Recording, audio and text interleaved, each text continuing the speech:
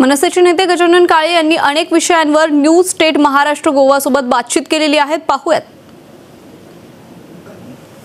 सुषमाताईंना मी आता नवीन शब्द वापरलाय.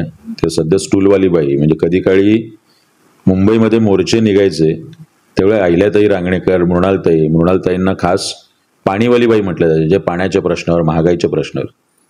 कुठलंही कर्तृत्व नसताना कुठल्याही प्रश्नाला कधी हात घातलेला नसताना आणि कुठलाही प्रश्न सामाजिक प्रश्न कुठल्याही व्यासपीठावर कधी सुषमाताई अंधारे यांनी सोडवलेला नाही. हे पोकळीतून आलेलं नेतृत्व आहे. कधी काळी काँग्रेसच्या व्यासपीठावर होत्या कधी काळी ब- राष्ट्रवादीच्या व्यासपीठावर होत्या. आणि आता शिवसेना उद्धव साहेबांचा जो गट आहे त्या व्यासपीठावर येऊन बोलतात नेमकं तुमचं कर्तृत्व काय आहे? इतर राजकीय पक्षांबद्दल बोलत असताना इतर राजकीय पक्षांच्या नेत्यांबद्दल बोलत असताना तुमची वक्तव्य काय? आदरणीय बाळासाहेब ऐंशी वर्षाचा म्हातारा? त्याच्या हातात तलवार हे करत असताना. तुम्ही संत एकनाथाबद्दल बोलणार? तुम्ही संत ज्ञानेश्वरांबद्दल बोलणार?